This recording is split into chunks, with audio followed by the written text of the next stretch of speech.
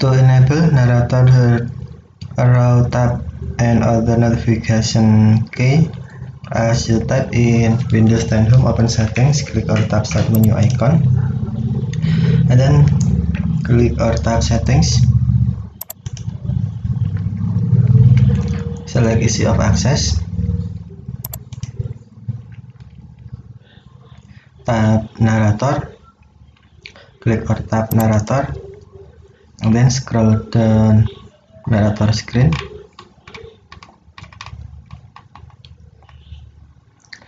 And then on check what you hear when typing. Check hear hear arrow, arrow tab and other navigation key as you type to enable or uncheck to disable. Check to enable or uncheck to disable. Okay thank you for watching. Have a nice day